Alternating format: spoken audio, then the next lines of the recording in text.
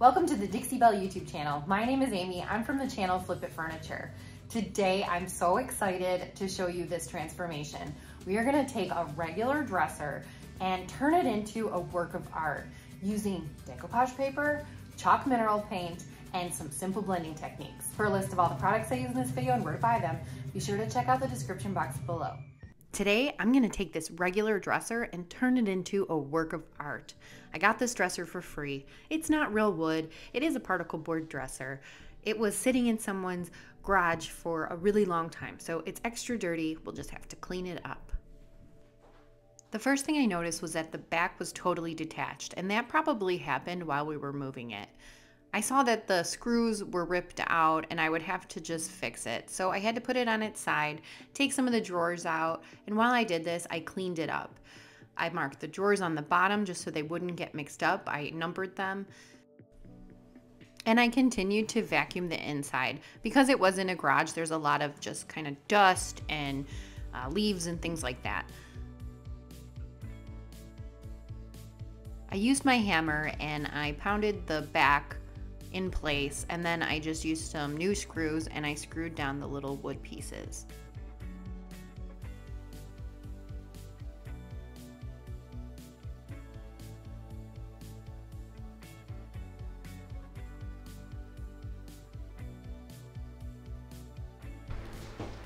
Now just to reinforce everything, I take my air nailer and I nail the backboard piece to the dresser.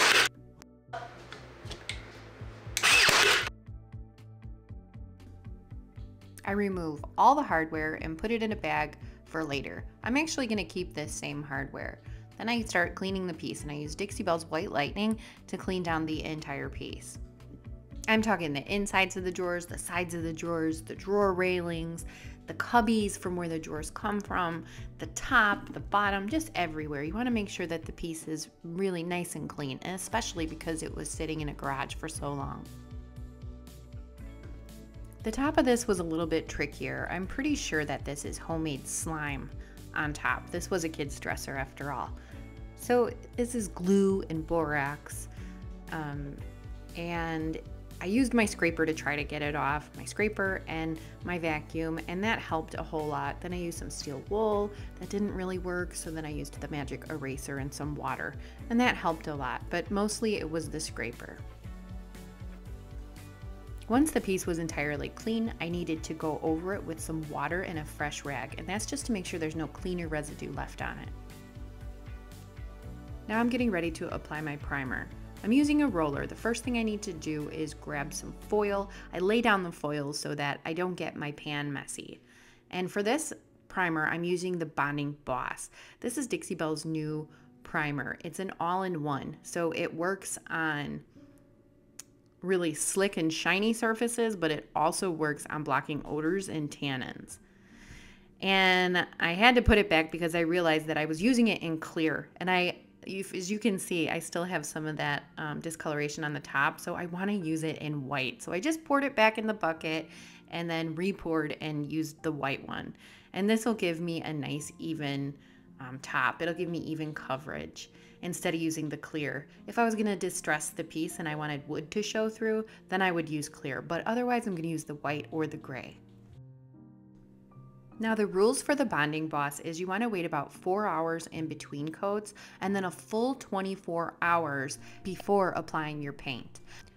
Another rule you want to stick with is don't clean your brushes down your sink or the bonding boss will ruin your pipes. So I'm just going to keep that roller, little top roller piece that I used eh, in a, in a little plastic bag and then I can use it later on again. I'll probably use the boss again in a few days. Now this gorgeous decoupage paper is called Sunflower Sunset. It's a rice paper. The first thing I need to do is add a little base coat underneath and I'm using the color drop cloth. That's because this decoupage paper is transparent and I would like it to be nice and bright. So using a brighter color is always a good idea.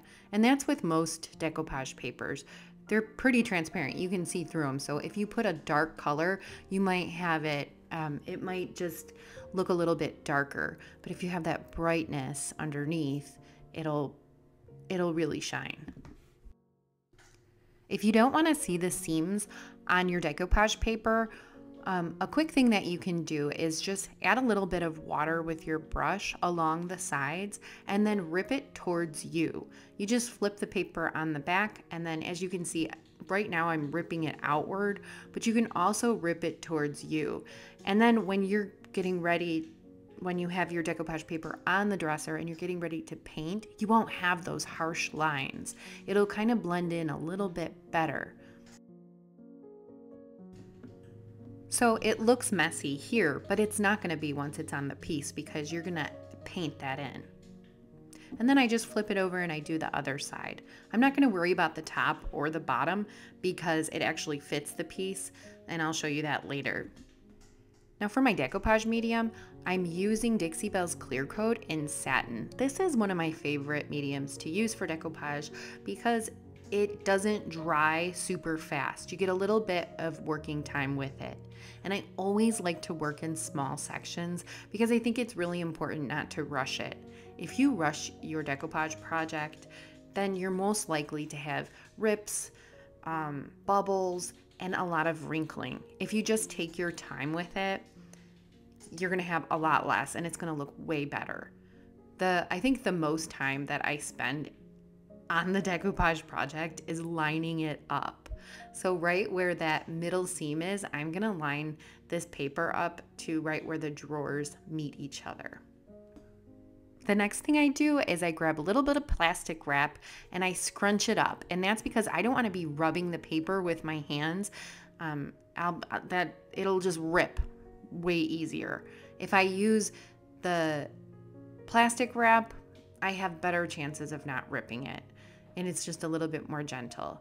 And another thing that I like to do now is use a little bit of the water from the mister. And that takes the fibers from the paper and it allows me to, it kind of expands them a little bit so I won't get as many wrinkles.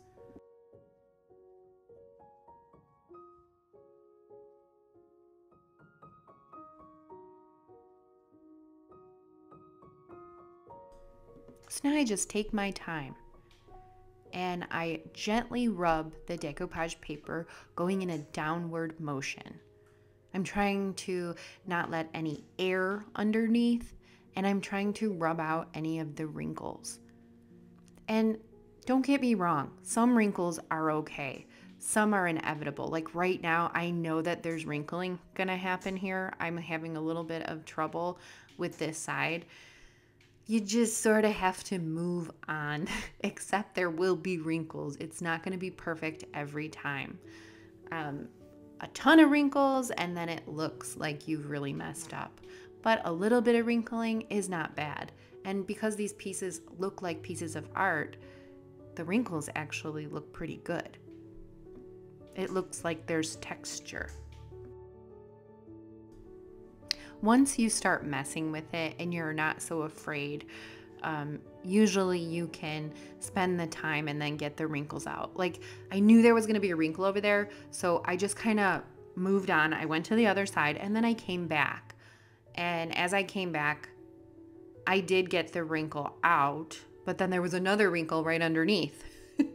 so you just kind of have to pick and choose and and I was okay with one little wrinkle being there. So I know a lot of people obsess over the wrinkles. Don't. It's still going to look great. So there was a little wrinkle over there and I'm moving on. Now I don't spray the paper on this one because as you can see there it's still wet. You don't want to saturate your paper or you will definitely have ripping and the color will come off. So when you're using your water mister, you only want just a small mist on there. That's enough to help expand those fibers. So there's my wrinkle. and and I'm coming back like trying to fix it, but you know, it's not bad. So then I just I move on. I ignore the gaps in between the drawers and I just continue down the piece in the same exact way that I did the first drawer.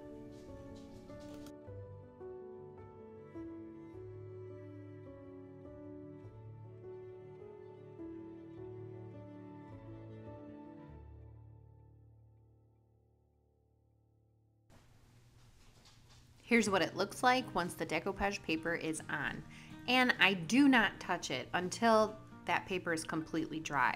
If I'm honest, I usually wait until the next day. I don't put my sealer over the decoupage paper until I've cut between the drawers and until it's completely dry. This is just my personal preference. I feel like it's much cleaner. The job is much cleaner when, if you wait until that decoupage paper is dry underneath before adding it onto the top. So then while it's really dry, I can cut through, open my drawers, add my sealer underneath the paper on the sides and just fold them back. And then once I have that done, then I can add my sealer to the entire front of the decoupage paper.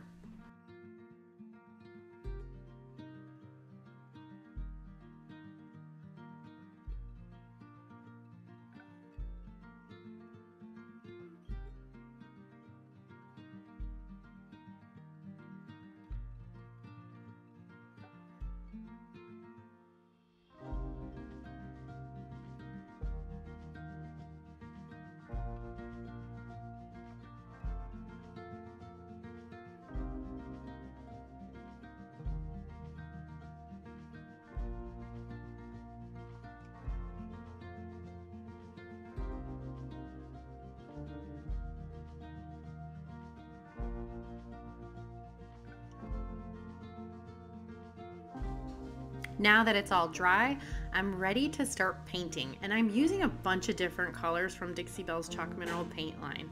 The first one I'm gonna use is chocolate and that's because I decided to go to the bottom of the drawers first. There is um, a little space, it's only about half of an inch where the paper didn't go all the way down so I want to fill that in first before I move on. And painting in the decoupage paper can seem like it's it can be extremely intimidating, but I can't tell you enough how easy it actually is. So now I'm using Colonel Mustard. I think I've called Colonel Mustard Colonial Mustard a few times before, and somebody just corrected me in one of my other videos. It's Colonel Mustard. Um, it's a great color for the sunflowers on this piece. That chocolate and the color Daisy worked really, really well to blend in and create more of the sunflowers.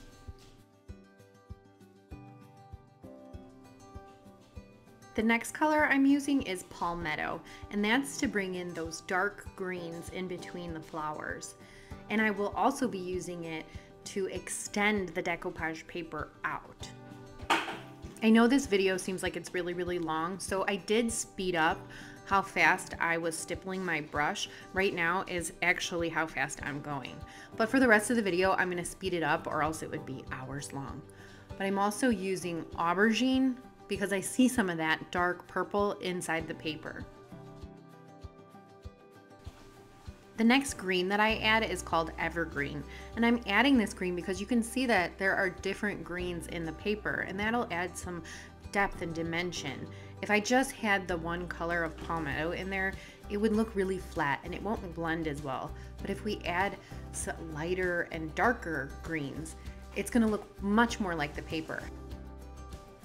And something to note that I think is really important, if I had just used a synthetic brush and I was brushing this on, going back and forth, you know, it would look, it wouldn't have that texture.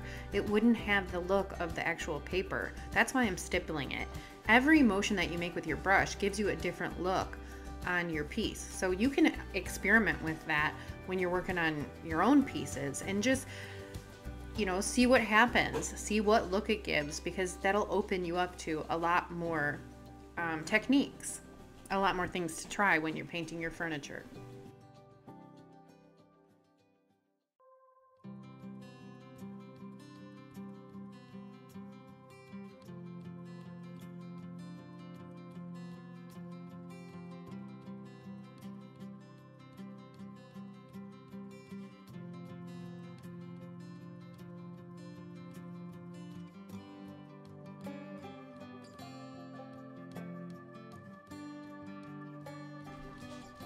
Going back and forth with palmetto and evergreen. I'm just stippling to create that texture And then I was gonna try to do some more sunflowers, but it's too wet. I need to wait to do the sunflowers until it dries. So now I'm gonna continue going upwards. And my next color is tea rose. So I'm gonna mix some tea rose and then I mix Colonel Mustard and then I'm gonna add a little bit of Florida orange. I will say that I used so many colors on this piece and I'm gonna link them all in the description box below if you're interested. You don't have to use as many colors as I used, but I was having a lot of fun with this and I just went with it. One good thing that I really like about um, Dixie Belle's chalk mineral paint is the price. You can buy the eight ounce containers are $13.95 and you can buy the four ounce containers for $9.95 and for me when i was getting started um, I, think i discovered dixie belle around 2017 the price was so ideal for the quality of the paint. Um, that is one of the biggest reasons that I started using it because I could afford to do projects like this and have, you know, the art projects and I didn't have to pay, you know, $30 for like a 16 ounce. There were other options. So if you're doing something like this, I don't use a lot of the paint. You could actually probably get away with just four ounces a container. Now my next colors are Dusty Blue and the Gulf and I'm blending those together to match the paper.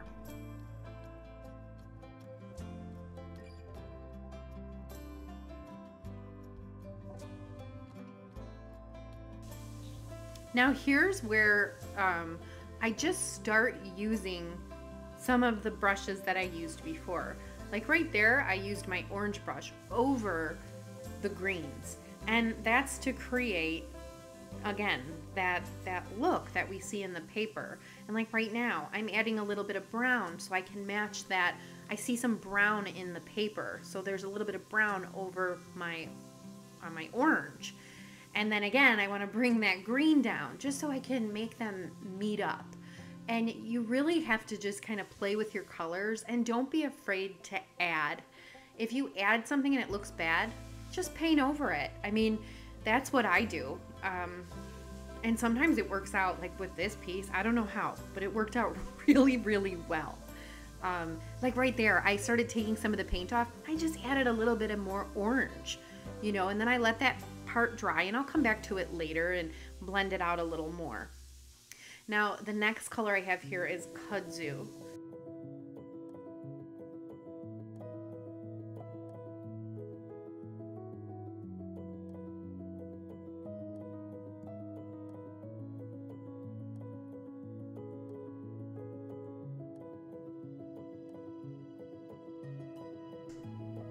Now I'm adding more aubergine to the piece because I see a lot of like muddy, it's almost kind of muddy colors on the decoupage paper. And then I add a little bit of Secret Path to soften that up. And then I'm gonna add my Dusty Blue again because I see Dusty Blue on the other side. So yeah, I have all these colors and I'm just trying to blend it so that it looks like it's coming out from the decoupage paper. Like, it, you know, the decoupage paper is just huge. You like you wouldn't even know it was decoupage paper. And I wish I could say that there was like a, a big rhyme or reason to how I apply the paint, but you just kind of have to listen to your gut and you have to look at the paper um, and follow your instincts on whether it needs a little bit of light or dark or like right there, I just added yellow because I thought, well, it needs a little bit more mud. But then it looks too weird, so you gotta soften it up. And so I add a little bit more of those pastel blues and the lavender, the secret path. Um, so you just look at the paper and go for it.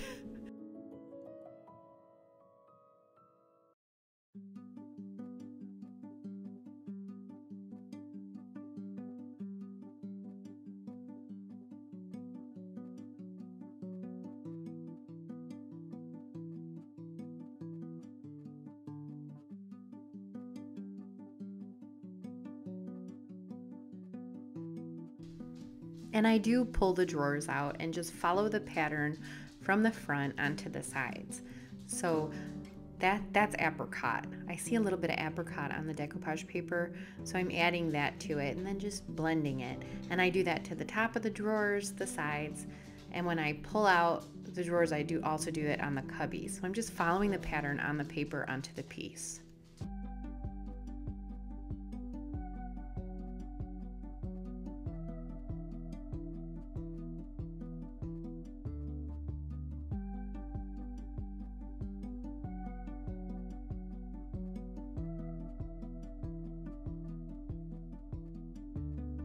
Here's what it looks like with one side done and the other undone. So now for this other side, I'm adding pinks, purples, the dusty blue. My pink is gonna be the peony, and then dusty blue, and then the secret path, along with apricot. I think it'll give that beautiful sunset look.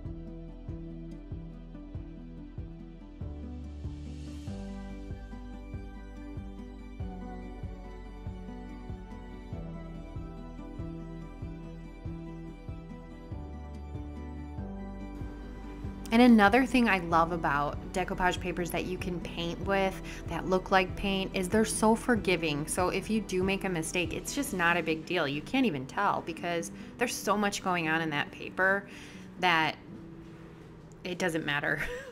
so as long as it all looks like it's lined up, it's going to be gorgeous. And here I'm using the aubergine and I will mix a little bit of um, peony just to give that sunset look over there. And then I put some chocolate in because it looks like there's like mountains in the background or something. And then I'm adding a little bit more drop cloth and that's to make the, the top between apricot and Colonel Mustard a little bit lighter.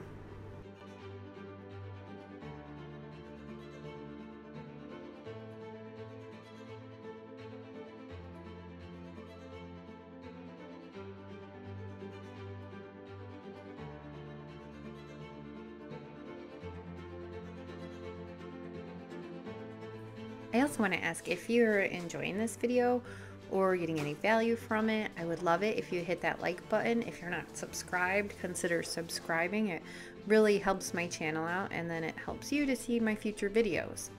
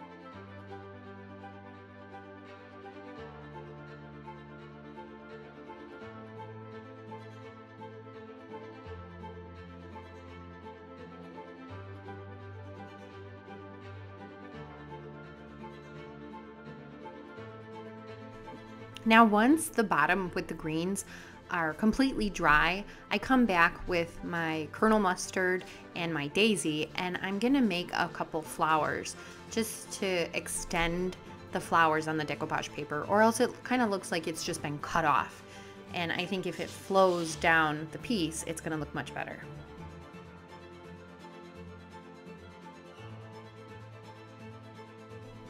Now, because I don't want this video to be like an hour long, so what you just saw me do on the drawer fronts is what I do on the entire piece. The sides, um, the top, you know, extending out into all the trim. Uh, I will show you really quick how I do the top but I'm, I'm going to do this in a sped up motion or else seriously we would be here for like two hours. But I think showing you the drawer fronts you can get the picture on how I blend. It's just a beautiful stipple blend and you kind of follow the paper the colors you see on the paper you bring up or you bring out to the sides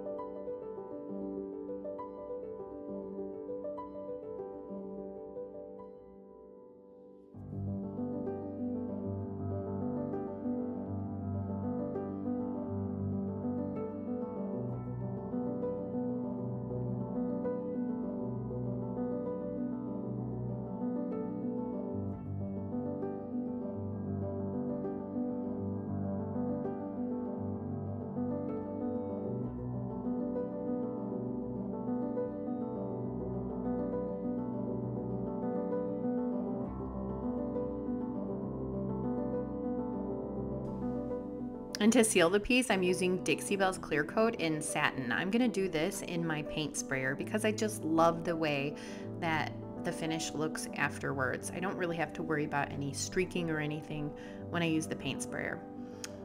And I apply three coats to the bottom and then four coats to the top and I wait about an hour in between the coats.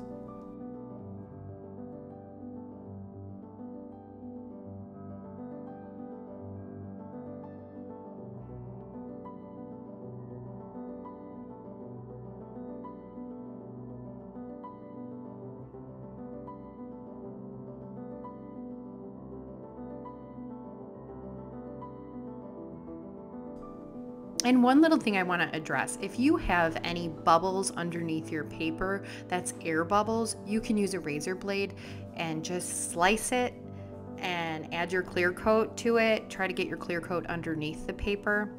Um, I don't usually like to do it this way anymore because I notice that the razor blade leaves some marks on the paper. So, another option, which you don't have to do, that's why I did both options, is you can get little syringes. I buy mine on Amazon.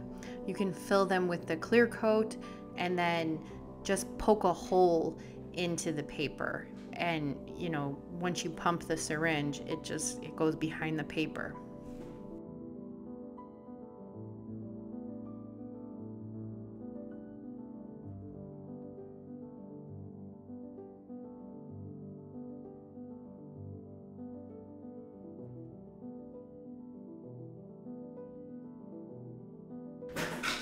And then for the hardware, I primed the hardware with the Bonding Boss and then I used colors that were really close to how it would look on the paper.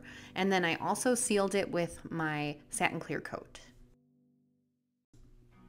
Here's a reminder of what it looked like when we first started. Here it is today. I absolutely loved working on this piece. I really, I had so much fun. Um, if you ever want to just feel like an artist, grab a decoupage paper that, you know, looks like paint and just have a blast with it.